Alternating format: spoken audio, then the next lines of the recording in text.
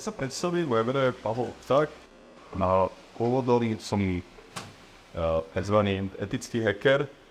A tohto času som momentálne globálny oportunista. Čo to presne znamená? To, to znamená to, že sa uh, snažím využívať, uh, alebo snažím sa decentralizovať aspekty môjho súkromného a pracovného života do viacerých krajín sveta, tak aby to bolo najlepšie, najlasnejšie, najvýhodnejšie pre mňa ako osobu. A dnešná prezentácia bude celkom unikátna, ktorú som vytvoril eh, pred pár týždňami. Ešte som ju na Slovensku mal vlastne iba raz v Bratislave. A volá sa Ako odísť zo systému a pritom zostať na jednom mieste. Prečo som sa rozhodol vytvoriť túto prezentáciu? Preto, lebo veľa ľudí, ktorí nie sú digitálni nomádi, nemôžu si cestovať väčšinu času a nemať, eh, nemať záväzky, ako, ako, ako to mám ja. A tak sa mi stiažovali, že počuj, ty to máš veľmi jednoduché, ty nikde nemusíš platiť daň, nikde nemusíš platiť odvody, lebo stále sa hýbeš a tým pádom nikde nemáš daňovú rezidenciu a, a tvoj život je veľmi ľahký. A, ale my si to nevieme dovoliť, lebo my dlhodobo žijeme na Slovensku, my tu, musím, my tu máme rodiny, my tu musíme platiť odvody a tým pádom nevieme nejakým spôsobom výjsť toho systému. Takže ja som sa rozhodol, že spraviť prezentáciu o tom, ako sa to dá, špeciálne keď používate krypto, špeciálne keď používate Bitcoin, ako je možné čo najviac vyskočiť z toho systému a ideálne neplatiť žiadne odvody, zaplatiť si najlepšie globálne zdravotné poistenie a neplatiť dane, pokým budete schopní žiť napríklad z kryptopôžičky. Takže o čom budem hovoriť e, v nasledujúcej prezentácii? Ak žijete väčšinu času na Slovensku, tak ste daňoví otroci Slovenska. To znamená, ak ste tu viac ako 183 dní, alebo tu máte stredisko životných zájmov, musíte platiť daň ako fyzická osoba z, vašich akýchkoľvek príjmov. To znamená aj z predaje krypto. Ak to krypto držíte viac ako rok, tak je to síce 7%, ale musíte to platiť, pokým to meníte na fiat. A vysvetlím vám, čo robiť so zdravotným poistením, pretože tak pre, predpokladám, že väčšina z vás sú klientami, nedobrovoľnými klientami oligopolu troch zdravotných poisťovní vysvetlím vám, ako je možné z tohto oligopolu uniknúť a poistiť sa na globálnom trhu. Vysvetlím, že existujú lepšie firmy ako Slovenská alebo EU firma na podnikanie. A tiež vám vysvetlím, ako môže vyzerať lepší bankový účet ako ten, čo máte na Slovensku a lepší mobilný operátor. Takže o tom budeme hovoriť.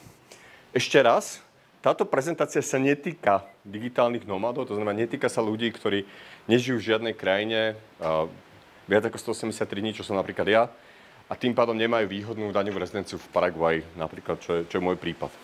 Naopak, táto prezentácia sa týka všetkých ľudí, ktorí dlhodobo žijú na jednom mieste a všetci títo ľudia túžia po väčšej slobode a lepších službách, ako momentálne majú. Takže najskôr, aby ste pochopili, že je na čase zmeniť váš život, uh, idem vysvetliť, že akým problémom momentálne čelíte ak žijete štandardný život väčšinu času na Slovensku alebo v Čechách. Prvá, prvý problém je to, že máte veľmi zlého daňového otrokára. Slovenská daňová rezidencia znamená, že musíte platiť dane z celosvetového príjmu. To znamená, že ak vás nejaký šaman uh, v Papu Novej Gvineji obdarí, tak slovenský finančák chce z toho zaplatiť určite dane, aj zdravotné odvody a vlastne všetko musíte z toho zaplatiť. To je problém. Hej? Musíte platiť dane z celosvetového príjmu vrátane krypto. Uh, druhý problém, o ktorom som už hovoril, ste nedobrovoľným klientom oligopolu troch zdravotných poisťovní. Aký to je problém? Problém je, že to, čo platíte teraz, nie, nie je tzv. zdravotné poistenie, ako si to veľa ľudí myslí, to je taká, uh, také zavádzanie. Je to tzv.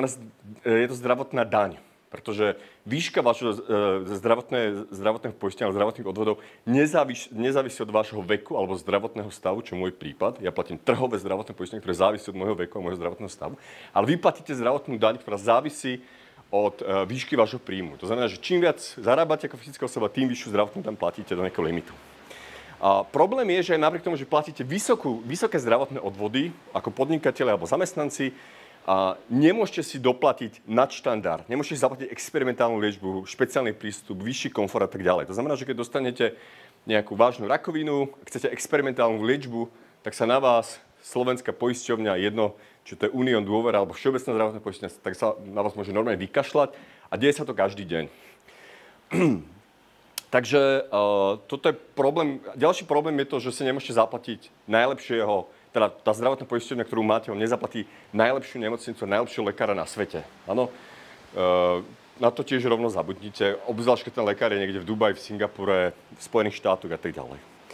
A problém je teda, že keď už dostanete rakovinu alebo, alebo nejakú vážnu chorobu, tak už vás žiadna globálna e, medzinárodná poisťovňa nepoistí. Áno? A to je už problém. A práve preto sa treba v tej globálnej zdravotnej poisťovni, tej súkromnej poistiť ešte predtým, ako dostanete nejakú vážnu zdravotnú chorobu. Ďalší taký paradox je to, že ja ako digitálny nomad, ktorý, ktorý zo Slovenska alebo z Európskou úniou nemám nič, ja som tu momentálne na výlete ako paragvajský turista, tak ja mám vyššiu zdravotnú dostupnosť e, na Slovensku, ako máte vy. A vysvetlím prečo. Je to kvôli tomu, že všet, všetci lekári na Slovensku a zdravotné zariadenia na Slovensku, ale nemocnice, majú, podpísanú, majú podpísané tzv. kvóty so zdravotnými poisťovňami. To znamená, že každý lekár, váš špecialista má napríklad podpísané, že pre poistencov dôvery môže spraviť 10 CT za týždeň, pre poistencov všeobecné zdravotné poistenie 15 a tak ďalej. To znamená, že vy chcete ísť napríklad na CD, zavoláte svojmu špecialistovi, poviete, e, že chcete ísť na CT, on sa vás pýta, v akej poisťovni ste poistení, vy poviete napríklad dôvera, on sa pozrie do Excelovskej tabulky a tam vidí, že kvóty sú zaplnené, na najbližšie, na najbližšie dva mesiace a poviem vám, že môžete prísť o tri mesiace. Vy môžete povedať, že áno alebo nie. Ja zavolám tomu istému lekárovi ako paragojský turista, poviem mu, že dobrý deň, on sa ma spýta, kde ste poistení, poviem, že nikde, všetko platím v cash, hotovosti. A on sa ma následne spýta, môžete prísť zajtra? Áno.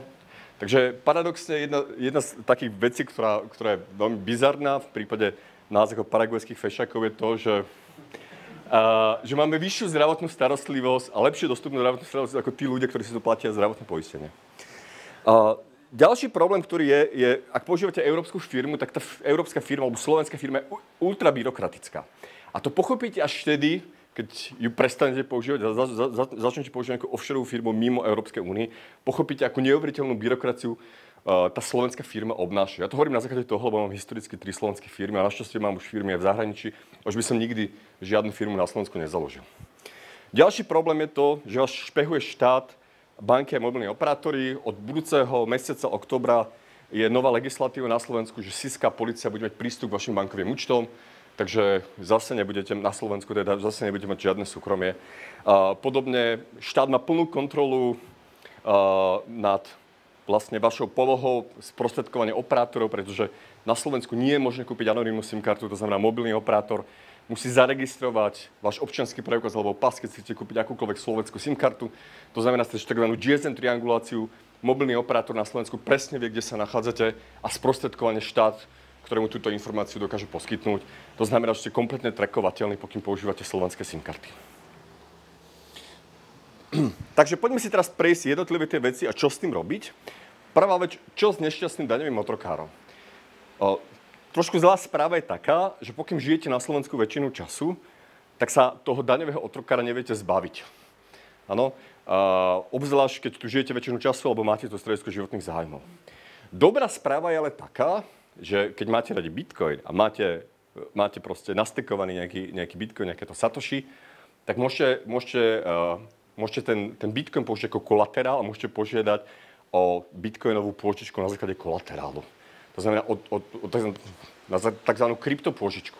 Dôležitá vec, ktorú by ste mali vedieť, je to, že bohatí ľudia, ako napríklad Elon Musk, Mark Zuckerberg, všetci bohatí ľudia, nikto z nich neplatí dane.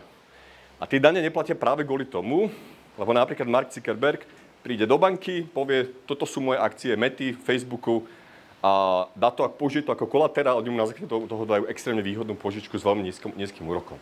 A čo je dôležité, zo žiadnej požičky sa neplatia nikdy žiadne dane ani odvody. Práve naopak, úroky tej požičky si môžete dávať do nákladov.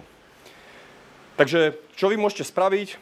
Vy, keď nemáte Bitcoin, tak si ho nakúpte, dostatočne veľa. Následne ho použite ako kolaterál Existuje niekoľko centralizovaných spoločností, možno by som trošku vypropagoval slovenskú firmu firefish.io, ktorá vám, ktorá vám sprostredkuje kryptopôžičku. Dáte, bitcoin, dáte Bitcoin kolaterál do smart kontraktu a druhá strana vám za nejaký 5% úrok požičia, požičia fiat peniaze, ktoré vám pristanú na vašom bankovom účte. Máte k tomu oficiálnu zmluvu, takže viete pre štát vydokladovať, že to je oficiálna požička. A pre banku. Prípadne môžete používať Nexo. Keď nemáte radi centralizované inštitúcie, tak je veľa iných spôsobov, rôzne decentralizované DAO, smart kontrakty, napríklad MakerDAO alebo AV a tak ďalej. Dôležitá vec, vy môžete dlhodobo žiť z kryptopožičky a raz za čas tú požičku, čas jej zaplatíte, alebo keď si chcete požičať ešte viac, tak doplníte kolaterál. Alebo keď napríklad krypto ide dole, tak doplníte kolaterál. Dôležitá vec, ak je ročná inflácia vyššia ako vaše ročné úroky, čo momentálne je, a prípadne, a, prípadne, tá, prípadne odhadovaný ročný rast Bitcoinu je väčší ako váš úrok, čo tiež momentálne je, tak na tom to zarobíte. To znamená, že vy, vy sa vôbec nemusíte ponáhľať e, so splácením toho, e, toho úroku, a to, toho samotného úveru. Dôležitá vec, vôbec sa nemusíte bať žiadne požičky, pokým ju môžete kedykoľvek splatiť. A toto je presne požička, ktorú môžete kedykoľvek splatiť. Nemusíte sa vôbec báť. A môžete povedať, že nemám žiadne bitcoiny, ale mám fungujúcu firmu, čo s tým mám robiť, tak môžem to vysvetliť. Vaša firma má príjem, a buď nakúpi bitcoin za zisk, e, za zisk, ktorý má, alebo vystavujete faktúry v krypte.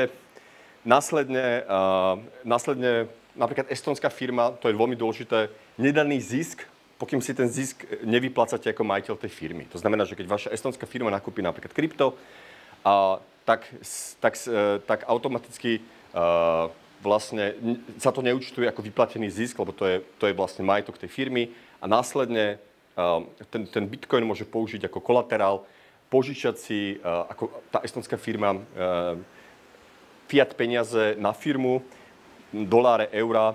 Následne tieto peniaze uh, dokáže požičať vám ako majiteľovi tej estonskej firmy a samozrejme s nejakým úrokom, napríklad 1% úrokom, lebo firma musí vykazovať nejaký zisk. A vy raz za čas platíte túto požičku. To znamená, že vo finále sú tam dve požičky. Jedna požička zo strany vašej estonskej firmy na základe Bitcoin kolaterálu, ktorý, ktorý tá firma má. A druhá požička je medzi to estonskou firmou a va, vami ako, ako samotným majiteľom. Čo je dôležité, nikde tam nie je zisk, nikde tam nie je profit. To znamená, nikto, nemusíte platiť dane, nemusíte platiť z toho žiadne extra odvody. Áno, vyplatíte úroky vašej firme, napríklad to je 1%, tá zase poskytovateľovi tej kryptopôžičky. Dôležitá vec ešte raz, ak je ročná inflácia vyššia ako vaše celkové ročné úroky, čo je, a ak veríte, že Bitcoin pôjde to, to the moon, verím, že tu nie je človek, ktorý neverí, že Bitcoin pôjde to the moon, tak automaticky uh, na tej kryptopožičke vo finále ešte len zarobíte. Dobre, môj dobrý kamarát Juraj Bednár spravil celý kurz ako žiť dlhodobo z kryptopožičky. Uh, volá sa Ako využiť hodnotu Bitcoinu bez toho, aby sme ho museli predať. Minikurs, uh, minibook. Keď použijete kód Liberation Travel, máte 10% zľavu. Takže on popísal úplne technicky, ako je možné požiadať o kryptopožičku bezpečným spôsobom a ako z tej kryptopožičky vlastne dlhodobo žiť. A čo s, ne- s nešťastným povinným zdravotným poistením? Takže dôležitá vec, čo by ste mali vedieť, je to, že Jediný spôsob, ako môžete sa zbaviť povinného zdravotného poistenia na Slovensku je vtedy, keď zrušíte na Slovensku trvalý pobyt a súčasne ako fyzická osoba, ako daňový rezident Slovenska, alebo naďalej budete daňový rezident, alebo ste tu väčšinu času, nebudete mať žiadny príjem ako fyzická osoba. Dôležitá vec, vy, keď zrušíte trvalý pobyt na Slovensku, vy by ste do 90 dní, keď ste na Slovensku viac ako 90 dní, sa mali nahlásiť na Mestskom úrade a zaregistrovať si trvalý pobyt. Ale keď pôjdete do Čech alebo na bicykli do Rakúska, tak sa nám to anuluje na ďalších 90 dní. Ano? Takže, takže to tak, prakticky je to veľmi ťažko kontrolovateľné. To keď, takže keď zabezpečíte, že každých 90 dní pôjdete do Rakúska, do Čech alebo kdekoľvek, tak, tak de facto môžete dlhodobo žiť legálne ako občan na Slovensku bez trvalého pobytu. A v tomto prípade ak budete žiť z kryptopôžičky, to znamená, že nebudete mať príjem ako fyzická osoba a súčasne budete mať dlho, uh, zrušený trvalý pobyt a súčasne každých 90 dní pôjdete bicyklom do Rakúska, by to bolo úplne, úplne korektné, tak v tomto prípade nemusíte platiť žiadne odvody, je to úplne legálne. A samozrejme sú tam problémy. Keď zrušíte trvalý pobyt na Slovensku, nemôžete žiadať o slovenský zbrojný pas, ktorý je zviazaný s trvalým pobytom. Nemôžete si predložiť o slovenský vodický preukaz, môžete jazdiť, ale, ale ako paragojský rezident, paragojský fešák na paragojský vodičák a nemôžete žiadať slovenskú bankovú hypotéku. Ale môžete, keď máte cash, tak si môžete kúpiť nehnuteľnosti na Slovensku, koľko chcete. A ešte, ešte raz, budete žiť z kryptopôžičky, tým pádom nemusíte vlastne uh, uh, vôbec, nebudete mať žiadny príjem. Môžete argumentovať, ale ja chcem zbrojný pas. Nedá sa to, áno? Môžete si vybrať, či chcete mať všetky povinnosti, platiť dania a odvody na Slovensku a, a mať zbrojný pas, alebo nie. Ak si chcete zastrieľať na strelnici, nepotrebujete zbrojný pas. Ďalšia vec, slovenský preukaz, vodický preukaz. A keď vám vybavíme rezidenciu v Paraguji, v Paname, môžete jazdiť na paragojský vodičak na Slovensku, v Čechách bez nejakých problémov. Ste tu paragojský turista na navšteve, žiadny problém. A chcem žiadať Slovenskej banke o požičku hypotéku. Toto tiež nie je možné bez trvalého pobytu, podobne keď chcete refundovať existujúcu hypotéku. A môžete ale využiť kryptopôžičky a môžete dlhodobo žiť z kryptopôžičky. A teraz otázka, že prečo lepšie zdravotné poistenie? Prečo globálne, uh, globálne zdravotné súkromné poistenie namiesto vášho povinného? Takže ešte raz.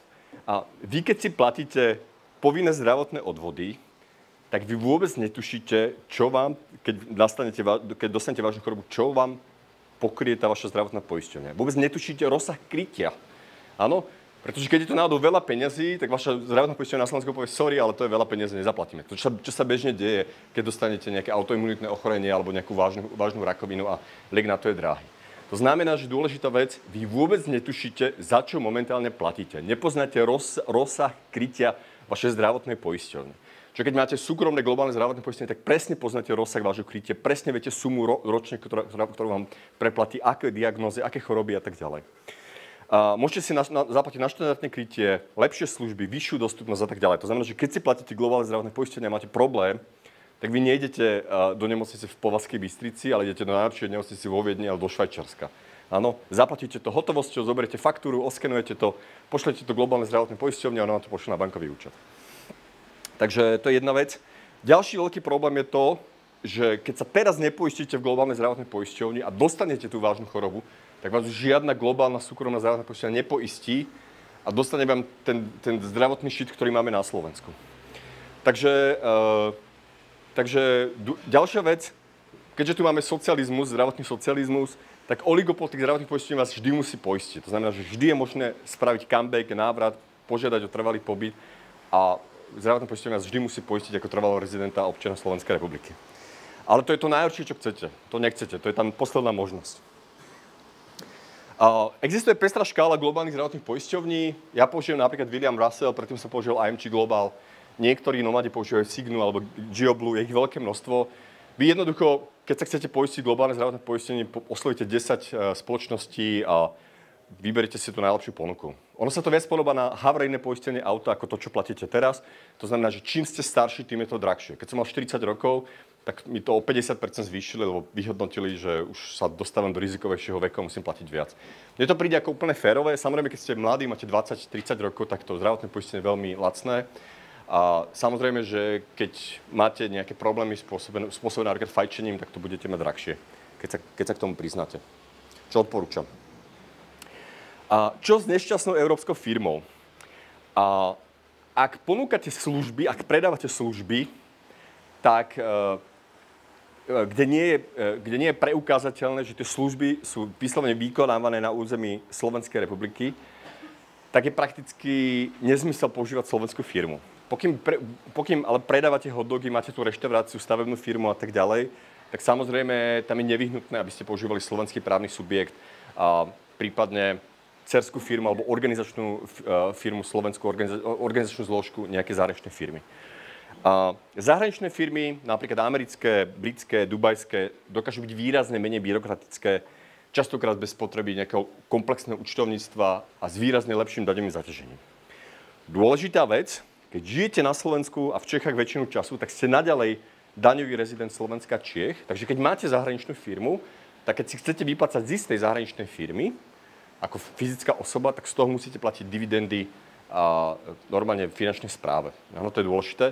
Takže z daňového hľadiska vám to nemusí pomôcť, keď budete používať e, zahraničné firmy, stále budete platiť daň ako fyzická osoba z príjmov dividend z tej, z tej firmy, ale môže to byť výrazne menej byrokratické, ušetríte na účtovníkovi a tak ďalej.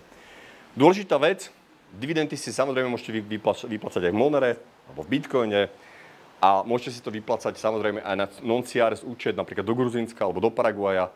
Gruzinsko ani Paraguaj nepodpísal zmluvu uh, CRS, to znamená nerobí automatizovaný reporting, ale samozrejme vy ako občan máte povinnosť nahlásiť všetky celosvetové príjmy a pekne poctivo z toho za, zaplatiť zdravotné odvody a dane.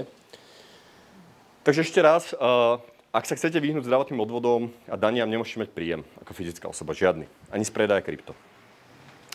A čo, samozrejme, vaše firmy ale môžu mať príjem, ale nemôžu vám vyplácať zisk, lebo ten zisk budete musieť zase zdaniť. Čo s nešťastným bankovým účtom? Uh, ja, keď som zrušil trvalý pobyt na Slovensku, získal som v Paname, v Paraguaji, išiel som do nejakej nemenovanej slovenskej banky, do druhej odmietli mi otvoriť účet. Ako slovenskému občanovi. Dôvod je taký, že nemám na Slovensku trvalý pobyt. Čo som spravil? Išiel som do Gruzinska, a v najlepšej gruzinskej banke Bank of Georgia čisto na pas, bez akýchkoľvek problémov, som si otvoril úplne elitný účet, ktorý sa volá že Solo Club. Mám tri karty, mám najvyššiu visu, najvyšší, najvyšší Mastercard, a mám nekonečne veľa saloníkov všade na svete, neplatím nikde za výber z bankomatov a takýto bankový účet mi žiadna banka na Slovensku v Čechách neposkytne. Ano? A a nie len to, že mi ho neposkytne, a keby mi ho poskytol, musel by som mať e, tu trvalý pobyt a musel by som mať tu príjem 10 tisíc eur a to v Gruzinsku nikto nechce. Takže toto je super. Vykašlite sa na slovenské české banky alebo EU banky, ktoré vás špehujú, monitorujú. Od budúceho mesiaca SISKA, policia bude mať prístup k vašim slovenským bankovým účtom. Otvorte si účet v Gruzinsku, my vám tu dokážeme poskytnúť ako službu. Bank of Georgia Solo, prípadne veľmi populárny teraz Gibraltar. Výhoda, e, výhoda vlastne Gibraltaru je teda, že to je mimo Európskej únie a ten účet si viete otvoriť napríklad ako paraguajský rezident. Takže veľmi stručne k tomu Solo bankovému účtu. Hej, máte tam najvyššiu platinum kartu s denným výberom 7000 eur. Uh, môžete, máte tri tie karty, to znamená, že môžete vybrať 20 tisíc eur za deň, čo je podľa mňa, alebo uh, čo, je, čo je super. Až 100 tisíc eur môžete platiť tými kartami tromi. Nie sú tam žiadne poplatky na svete, keď použijete napríklad ten solo klub nikto nerieši váš trvalý pobyt a môžete si zadať akúkoľvek adresu na svete, oni vám kuriérom pošlú vaše platobné karty a funguje to super. Napríklad za tento účet ja platím 281 eur, ale existujú aj účty, kde platíte 6 eur mesačne, kde máte tie najvyššie Visa karty, alebo 10 eur mesačne a tam máte už osobného bankera.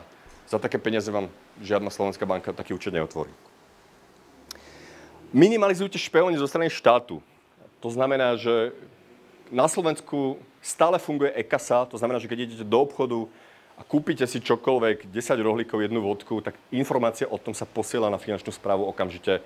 V Čechách fungovalo EET, ale po COVID to zrušilo. Na Slovensku sú špehované kompletne všetky finančné transakcie, nákupy. A ak vám to vadí, tak používajte, a, používajte hotovosť, preferujte anonimné kryptomeny. Anonimná kryptomena je Bitcoin Lightning alebo Monero ak používať bankové účty, používate bankové účty v non-CRS krajinách, to znamená v krajinách ako Gruzinsko a Paraguay, ktoré nepodpísali CRS. A to je to, čo odporúčam.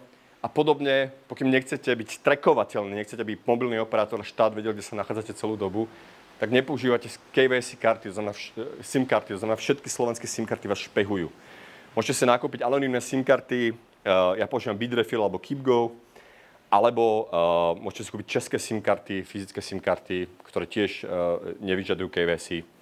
Uh, čo sa týka telefónu, ja som veľký zástanca uh, Pixel telefónov, ktoré majú najbezpečnejšiu Android distribúciu, vlastne Graphene. Môžete použiť laptopy, momentálne existuje Google Tablet, ktorý, použi- ktorý sa dá preflašovať najbezpečnejším uh, privacy ever operačným systémom Graphene.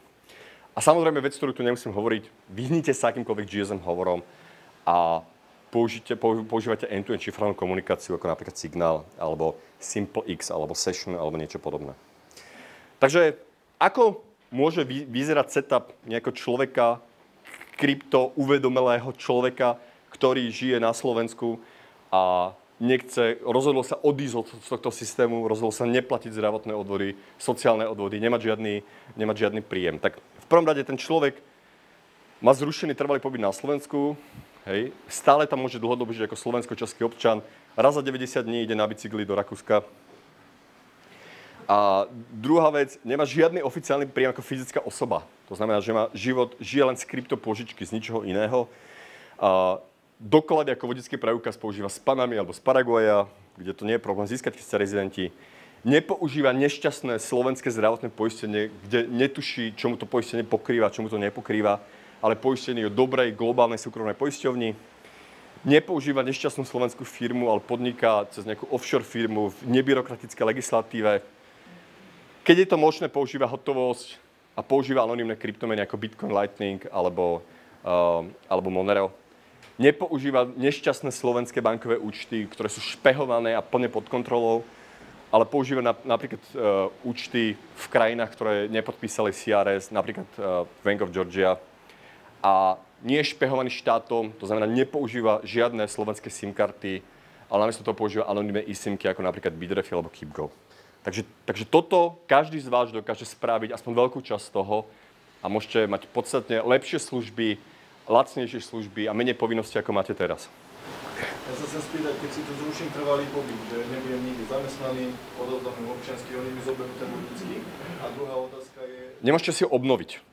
Nemôžete si obnoviť. A ešte taká dôležitá vec, je to také bizarné, ale vy môžete byť na Slovensku zamestnaní. Vy keď zrušíte trvalý pobyt, vyhodia vás, vyhodíte vás firmy, alebo ak ste zamestnaní, nemôžete mať akože trvalý pobyt, ale keď zrušíte trvalý pobyt, tak vás môžu opäť zamestnať ako slovenské občania bez trvalého pobytu. Takže bez trvalého pobytu je možné byť zamestnaný na full time na Slovensku, aj keď to znie bizarne, ale je to možné. Dá sa to, ale ne, nemá to žiadnu daňovú výhodu, lebo uh, musíte platiť všetky odvody, zamestnávateľ za vás musí platiť všetky odvody, vy musíte platiť zdravotku a sociálku, ale nemusíte mať na Slovensku trvalý pobyt. Je to legálne, poznám ľudí, ktorí, ktorí to overovali na ministerstve a sú tak zamestnaní. Takže sa chcem spýtať, slovenský pás mi normálne zostane, ale odpadne mi povinnosť vojenskej služby a vecí. Presne tak. Muži majú viazanú bránu povinnosť na Slovensku. My sme na tom výrazne lepšie ako českí občania, lebo českí občania majú bránu povinnosť viazanú s občanstvom, my to máme uh, s trvalým pobytom. Takže keď, chcete, keď nechcete mať tú bránu povinnosť, treba sa zbaviť uh, uh, trvalého pobytu. Dobre, takže ako vidíte, možnosť odísť za tým lepším je už aj pre tých, čo sa nikam nepohnú. Najvyšší čas vykrčiť von. Ďakujem za pozornosť. Sa, lebo máš ešte takých 10-15 minút. Dobre, či Dobre, máme ešte otázky. Máme priestor na otázky. Môžete, môžete sa pýtať. Keď už mám hypotéku, toho trvalého pobytu? A, takto, akože, keď sa zbavíte trvalého pobytu, existuje veľké množstvo, stovky, tisícky Slovákov, ktorí si tu zobrali hypotéku, odsťahovali sa do zahraničia. Hej? To je presne tá istá situácia. A, najlepšie je zavolať e, priamo tomu hypotekárnemu poradcovi a spýtať sa, či to nie je problém, ale väčšinou by to nemal byť žiadny problém. Problém je, až keby ste chceli tú hypotéku refinancovať alebo žiadať o novú. Ale pokiaľ už nejakú máte a proste ju platíte, tak to nie je problém. To je individu- všetko to závisí od individuál- individuálneho rozhodnutia banky, ale my nemyslím si, že by tam mal byť problém, keď tú hypotéku normálne platíte. Ako spraviť firmu? Prosím? Ako spraviť firmu? Um, Ako spraviť firmu? Estonská firma sa dá založiť veľmi jednoducho. Požiadate o estonskú e-rezidenciu, čo je normálne online klikac, klikací formulár, zaplatíte 100 eur a na estonskej ambasáde si vy, vyzvihnete e-rezidencii estonskú kartičku. Ja som si to vyzvedol v Prahe, neviem, či existuje estonská ambasáda v Bratislave, určite existuje vo Viedni. Takže vyzvihnete si tú e-rezidencii kartičku a následne si môžete za 200 eur založiť estonskú firmu, ak sa to nezmenilo, možno sú staré poplatky. A, alebo existuje ne, nespočetne veľké množstvo sprostredkovateľov, sprostredkovateľov v Estonsku, čo založí tú firmu, aj sa bude o všetko starať, to a tak ďalej. Jedna z takých firm sa volá Xolo, alebo uh, existuje Estonian Company, to je nejaká ďalšia firma, ktorá vám to môže... Tak, ale ešte by som podotkol, že Estonsko, podobne ako akákoľvek členská krajina EÚ, je normálne daňové peklo. Hej, to, to nečakajte. Celá Európska únia je daňové peklo.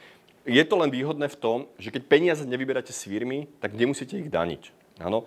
Na Slovensku, keď máte ku koncu roka máte, uh, vystavíte nejaké faktúry, máte nejaké náklady, to je váš zisk, tak je úplne jedno, či si ten zisk vyplatíte alebo nie. Ku koncu roka ten zisk musíte vždy na Slovensku zaplatiť. Takže uh, tam ten zisk nemusíte, z toho zisku nemusíte platiť dane, pokým tie peniaze nechcete dostať z firmy. Takže napríklad pre startup je, je estonská firma ideálna. Môžete si dlhodobo do nekonečna v budúcnosti znižovať daňové náklady.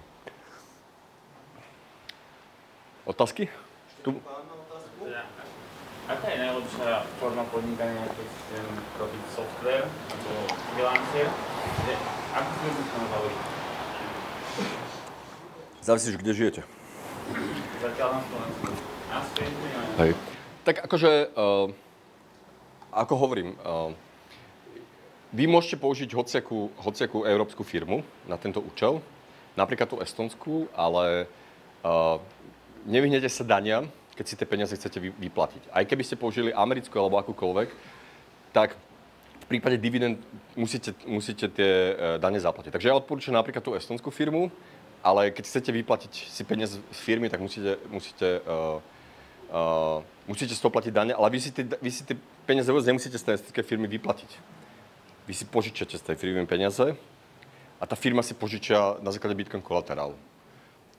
Takže, takže toto je, to je podľa mňa najlepšie riešenie. Inak to je veľmi zaujímavé, že keby ste boli v situácii ako ja, to znamená ktorý, človek, ktorý nikde nežije ako väčšinu času, a má daňovú rezidenciu tým pádom iba v Paraguaji, pretože tam to je jediná krajina, kde mám rezidenciu, daňovú rezidenciu a, a, a životných záujmov a tak ďalej, tak v mojom prípade a v mojom prípade to mám veľmi jednoduché, pretože ja všetky faktory vystavujem cez americkú firmu a keďže všetky krajiny Európskej únie majú podpísanú zmluvu o zabraní dvojitého zdania s, Európsko, e, s americkou firmou, tak každý môj klient si tú, tú, tú faktúru z americkej firmy vie do nákladov. A potom to funguje tak, že daňová povinnosť tej americkej firmy, a pokým vy robíte biznis striktne mimo Spojených štátov, nerobíte na území Spojených štátov a tak ďalej, sa transferuje na daňovú rezidenciu majiteľov tej firmy. Ale keďže ju vlastním ako daňový rezident v Paraguaji, čo je krajina s teritoriálnou taxáciou, kde nemusím platiť dane zo zahraničných príjmov, tak vo finále nemusím platiť z toho žiadne dane. A nielen, že platiť, ale ani deklarovať. Že ale tie dividendy, alebo tie, ten príjem z tej americkej firmy, nie že, nie, že, nie, že neplatím dane, ale v tom Paraguay nie je ani formulár, ako to zadeklarovať. Takže to je ten ideálny stav, ale na tom, na tom nesmiete žiť väčšinu času na Slovensku. Otázka. Ďalšia? Tu bola nejaká otázka? Ja som sa to isto chcela spýtať s tou hypotékou a Hej, Takže tak. Takže najlepšie zavolať uh, do banky, že keď zrušíte trvalý pobyt, že či s tým majú nejaký problém. A myslím si, že by nemali bať. To je, to je normálne subje, akože subjektívne rozhodnutie tej banky. Nie je žiadna regulácia alebo, nie, alebo niečo, ale keď ste dobrý, vy ste v situácii ako hocaký človek, ktorý odchádza do zahraničia pracovať, hej, ktorý si ruší trvalý pobyt, odchádza do zahraničia. Takže nemyslím si. Keď eh, vykonávam služby o prioritné na Slovenskej republike, tak musím používať Slovensku. Áno, áno. Keď máte preukazateľný príjem zo Slovenska, tak vždy je, je potrebné platiť dane na Slovensku. To znamená, aj keď máte zahraničné firmy, ktoré tu vykonávajú biznis, tak tie zahraničné firmy pod nejaké obratom, myslím, že 50 tisíc eur, sa musia zaregistrovať na daňovom úrade a podnikať buď cez cerskú slovenskú firmu alebo slovenskú organizačnú zložku. Hej. Takže keď fyzicky podnikáte na Slovensku, tak z toho je nutné platiť dane, aj keď máte zahraničné firmy.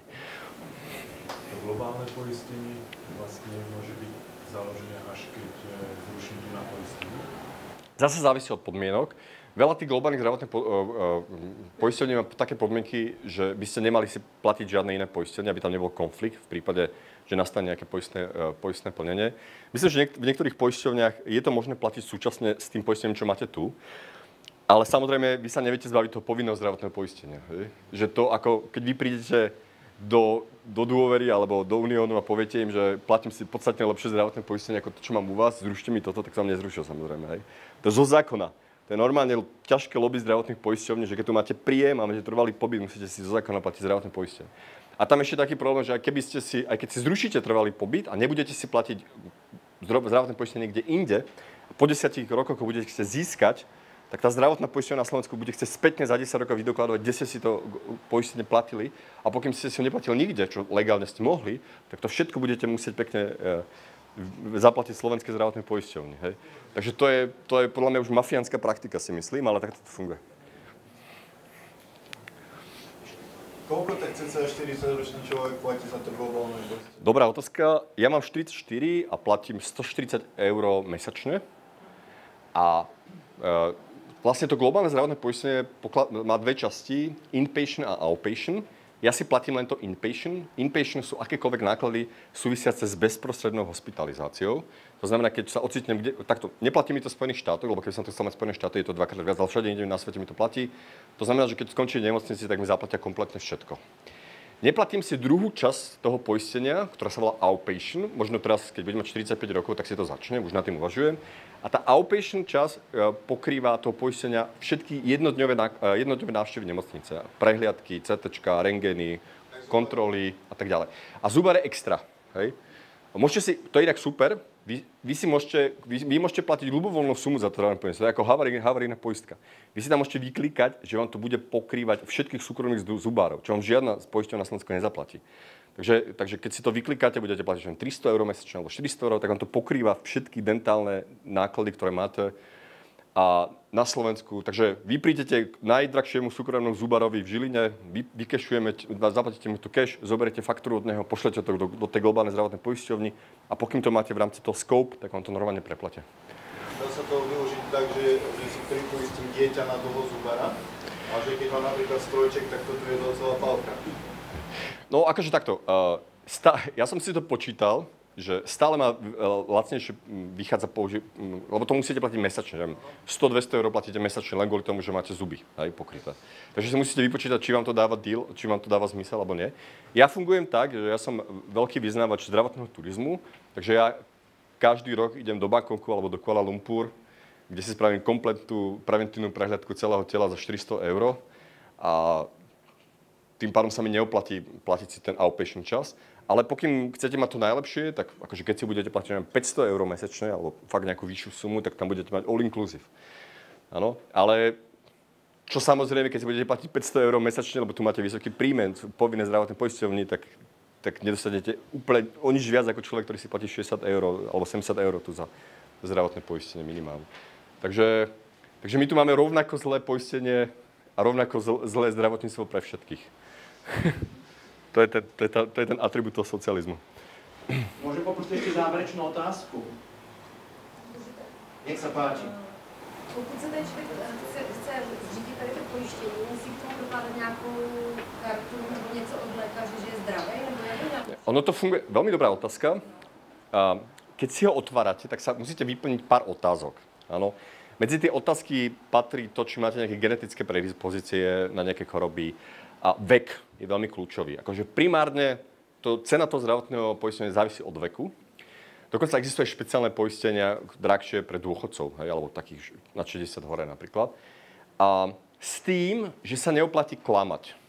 To znamená, že keby ste tam zaklamali, že uh, máte nejakú vážnu chorobu a na, ocitnete sa v nemocnici a ten lekár príde na to, že ste mu zaklamali, alebo, že, že, alebo tá poisťovňa, zober, zoberiete faktúry z tej poisťovny a budete to chcieť uh, akože, ref, refundovať a tá poisťovňa zistí, že to na základe choroby, ktorú ste zatajali, tak vám nič nepreplatí. Hej, to znamená, že klamať sa nevyplatí. To znamená, že treba tam pek, fakt akože vyklikať všetko, celý váš zdravotný stav. A napríklad funguje to tak, že keď máte uh, cukrovku, tak je tam nejaký príplatok, hej. Alebo sa niektorá poisťovňa vás nemusí akože poistiť a niek- niektorá za príplatok. To znamená, že tá price policy prudko závisí od tej zdravotnej poisťovny. Každá si vyhradzuje právo, ako vám dá cenu a tak ďalej. No ale když třeba někdo má rakovinu a potom je lékařem a uznaný, že je zdravý, Tak by to malo byť v pohode, hej? Áno, áno, áno. Keď je zdravý, tak je zdravý. Akože, tam sa počíta potom len ten vek. Áno. Takže... Ale samozrejme, keď už máte akože tú rakovinu alebo nejakú vážnu chorobu, tak nečakajte, že vás nejaká súkromná zdravotná poisťovňa poistí. Ako ja keby som prevádzkoval súkromnú zdravotnú poisťovňu a mal by som s vás iba náklad, tak vás tiež nepoistím. Áno. To je normálne, akože normálne 100% trhové poistenie. Až sa nenahneváte, tuto ukončím. V prípade, že niekto má ďalšie otázky alebo chce s diskusiou pokračovať, určite sa to ešte Pavel bude pohybovať. Ja mu chcem ešte srdečne poďakovať za túto veľmi obsažnú informáciu.